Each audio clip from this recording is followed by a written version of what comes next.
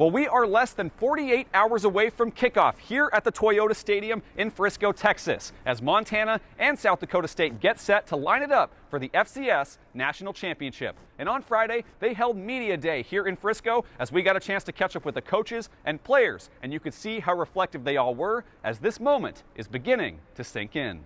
As players and coaches filed into Toyota Stadium on Friday, the reality of Sunday's championship tilt heightened with every interview as game day inches near. It didn't really it didn't really set in that we were playing in the national championship until we walked off the plane and, and started practicing here in Frisco.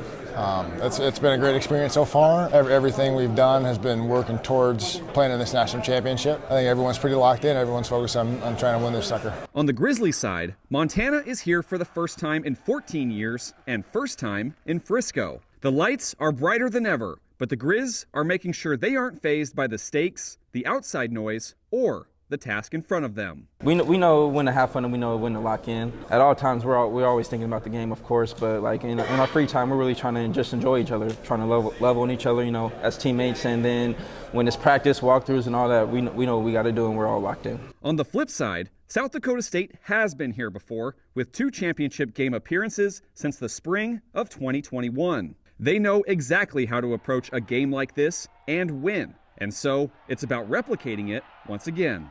Kind of workmanlike. You know, that first time you're kind of like getting led around like a herd of sheep. You don't really know what's going on. It's definitely been you know a blessing to be here um, a couple times and you know get the get the feel of it down. That's why so many of their key players came back was to win and keep the Jackrabbits at the top. You know, we all came back for a reason, and I think we kind of knew what that was. And we all came back just because we care so much about each other.